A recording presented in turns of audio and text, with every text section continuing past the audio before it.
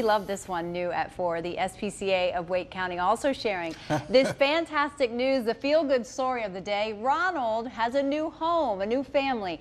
They're sharing these pictures with us. Not only does Ronald have human playmates, as you see, that look like they love him a lot, but also has a dog sibling as well. We first oh. told you about Ronald last week here on Eyewitness News at 4 after the SPCA posted pictures of him on its Facebook page after 14 adoptions had fallen through for Ronald. Hmm. Well, the post quickly went viral and Ronald actually maxed out of pending adoptions. And this morning, Ronald's adoption was finalized after a trial adoption. He's such a good looking dog and certainly deserves a forever family. And look He's at those two so faces. cute. You didn't get any happier than that. That looks wonderful. Love Happy to for see it. Yes, yes, happy about that. Okay.